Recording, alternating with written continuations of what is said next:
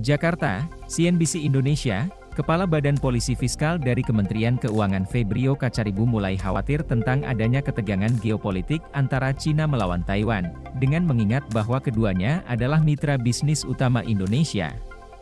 Febrio mengungkapkan bahwa ketegangan China dan Taiwan akan terus dipantau secara ketat oleh pemerintah, mengingat bahwa itu adalah gangguan eksternal yang dapat mengganggu ekonomi Indonesia.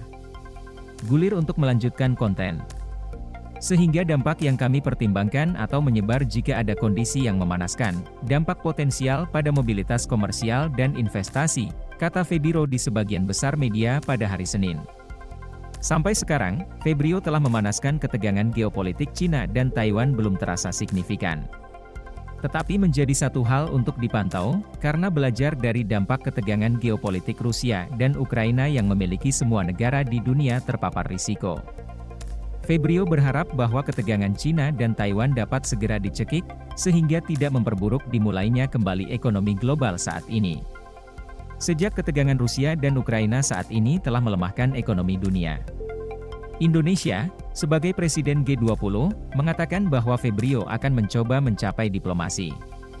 Dia akan mendukung diplomasi ekonomi dalam konteks geopolitik, banyak negara miskin seperti Afrika telah terpengaruh secara negatif, kata Febrio. Bahkan di forum G20, ia mengekspresikan negara-negara miskin dalam krisis makanan dan kekurangan gizi. Kami mulai memilih kemanusiaan sehingga pendakian terus dipertahankan. Untuk harapan mempertahankan ekonomi dan dampaknya terbatas. Tetapi harus disadari dari masa depan, kata Febrio lagi. Kepala Ban Rakyat Indonesia, ekonom Anton Heranata, menambahkan bahwa pemerintah diundang untuk terus memperhatikan dampak geopolitik Cina dan Taiwan. Situasi ini harus belajar dari Rusia dan Ukraina.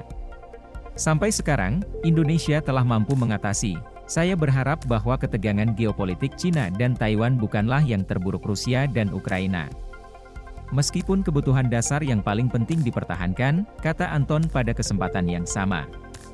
Sebagai ilustrasi, mengacu pada data dari Badan Statistik Pusat, China dan Taiwan adalah mitra dagang utama Indonesia. Terdaftar hingga Juni 2022, China dan Taiwan adalah bagian terbesar dari ekspor non-minyak dan gas untuk Indonesia. Hingga Juni 2022, pangsa ekspor minyak dan gas di Indonesia ke Cina mencapai AS 5,9 miliar dolar atau mencakup 20,74 persen dari total bagian dari ekspor Indonesia yang, pada Juni 2022, dicatat pada 26,09 miliar dolar, nomor satu untuk Republik Ekspor Indonesia.